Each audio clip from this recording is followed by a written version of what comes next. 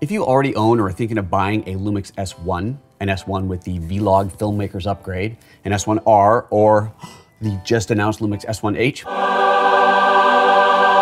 you might be concerned that the only lenses you have today are the 24 to 105 f4, the 50mm f1.4, and the 70 to 200 f4 just a paper cutout. There's more lenses coming from Panasonic and a bunch coming from Sigma, but did you know that you can adapt hundreds, if not thousands, of existing lenses, some that you may already own, to the L mount? I'm Photo Joseph, and let's talk about it.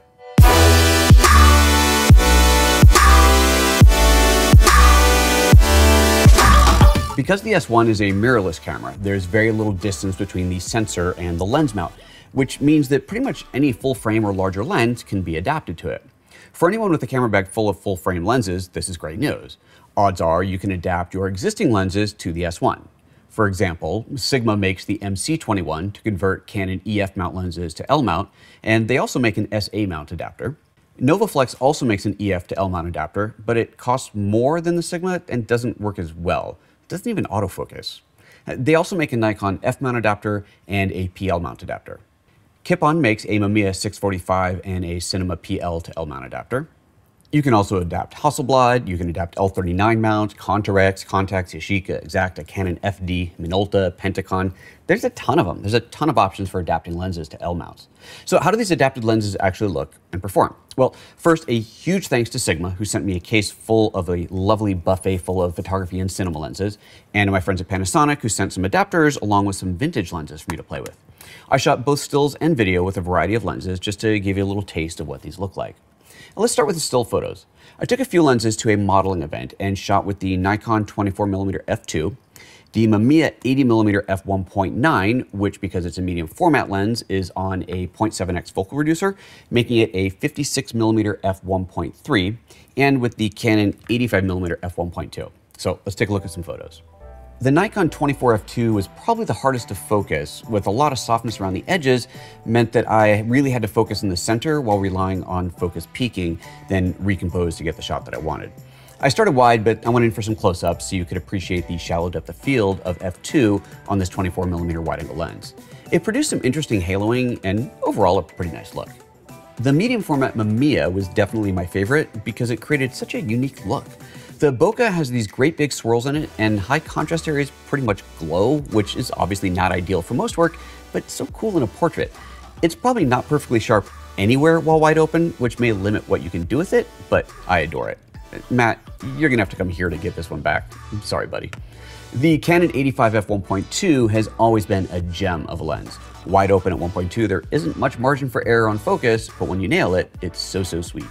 Stopping down a little, of course, gives you a bigger field of focus while still getting lovely bokeh. And at 1.2 and at a distance from your subject, you can still get incredibly narrow depth of field. This is the first autofocus lens of the bunch, so let's talk about that. The Nikon and the Mamiya are, of course, manual focus on passive adapters, but the Canon EF lens on this Sigma MC21 is autofocus. As you would expect, autofocus is slower through the adapted lenses than on native lenses. That's no surprise. With the MC21, you can only do AFS, single, and not AFC, continuous autofocus. In fact, when you flip the camera to AFC, it tells you to go to AFS, which is way better than the Novoflex, which won't autofocus at all and will just tell you to switch to manual focus. With both adapters, you can manually focus a drive-by-wire lens like this Canon 8512, and the manual focus switch on the lenses function as well. If you use a lens with image stabilization in it, you don't get the IS from the lens, but of course the camera has stabilization, so you still get the in-body IS, no matter what lens you're using. And aperture and focal length are also communicated to the camera with both adapters. Effectively, the main difference between an MC21 adapted lens and a native lens is that the adapted one is slower to autofocus. So you're not going to be shooting action sports with these, but for portraits, landscapes, and the like, they're great. Hey, before we move on to video, I wanted to tell you that since I have a ton of videos here on YouTube, it can be kind of hard to sort through them and find exactly what you're after. But if you go to my website, photojoseph.com, you'll see on there that you can easily filter all of my videos and other tips by product. And if you go to the top filter by menu and choose hardware, you can type in the name of whatever you're looking for, like S1 or Think Tank or Godox, and quickly find all the videos related to that topic. While you're there, check out the membership page too and see the benefits of paid membership like access to hundreds of software training videos, exclusive interviews, and of course, it's a great way to support the free content that I make here on YouTube. All right, now let's look at the video side of things. Sigma was really generous and sent out quite the buffet table of gear. I shot the same setup with most of these lenses so you could compare the looks of them. Now, um, confession time, I kind of screwed up and I shot all these clips at 4K 60, which I intended to do so I could slow some shots down, but I forgot that that meant on the S1 that I was cropping into each lens shooting APS-C instead of full frame. That doesn't change the bokeh, of course, but it does mean we're not seeing the full lens edge to edge. Sorry. But hey, for those of you who would shoot 4K 60, this is exactly what you'll get. Okay, uh, these were all shot on the flat color profile on the S1 and captured to an Atomos Ninja Inferno at 4K 60p. Incidentally, this video you're watching now is in 4K 30, so if your device can handle it, hit the little gear wherever it is and choose 4K. Every shot you're about to see here is shot wide open on that lens.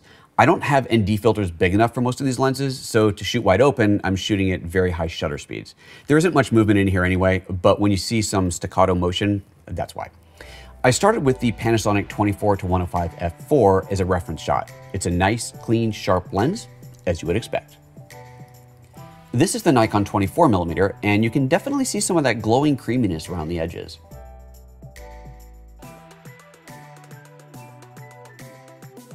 Next is the Sigma 18 to 35.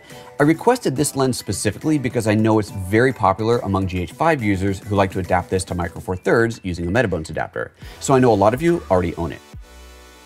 The Sigma 40mm f1.4 was a beautiful surprise for me. Quite a wide field of view and lovely bokeh. Definitely one for my wish list on B&H. Ah, the Mamiya. I just love it. Check out the bokeh rings in the background. Totally different look. It has that soft, almost dreamy look to it, like an Orton effect, where it's simultaneously soft and sharp. I just can't get enough of this lens. Now for the Canon 85mm f1.2. Very sharp, with super shallow depth of field, and a very smooth, predictable bokeh. Now let's switch to the cinema lenses. Sigma sent three of them, two EF lenses and one PL mount lens. For the EF mounts, I used the same MC21 adapter, and for the PL, I used this Kipon L mount adapter. Now, I gotta admit, this adapter's not very good. There's a little shim screw in here that I had to completely remove to get the adapter to even lock onto the lens, but there's significant play in the lens without the shim. Eh, it still worked perfectly fine, but I definitely prefer a PL mount that doesn't move so much. Novoflex and Lights both make PL to L mount adapters that are quite a bit more expensive, but I didn't get to test those. If you've never worked with these types of lenses before, let me give you a brief tour.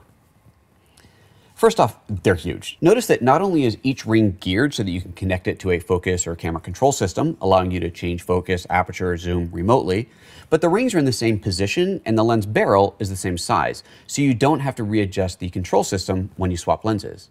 The aperture on a cinema lens isn't measured in f-stops, but in t-stops or transmission stops instead. The t-stops are the measure of the actual amount of light coming out the back of the lens, not the measurement of the aperture itself like an f-stop is.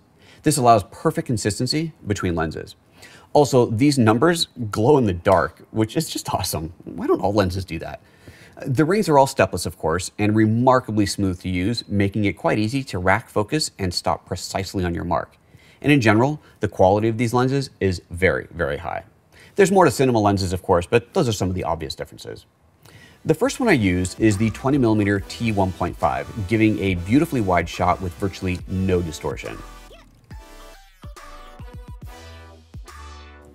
Then the 18 to 35 T2 zoom.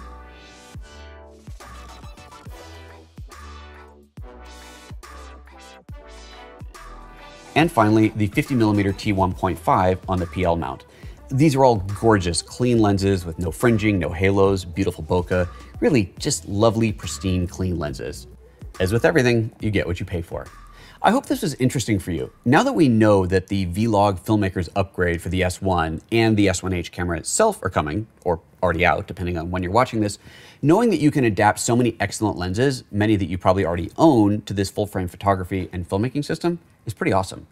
If you want to know more about any of these products, there's links below to everything. And of course, if you like this video, be sure to give it a thumbs up and hit that share button and share it on the socials. And don't forget to check out photojoseph.com as well. See you next time.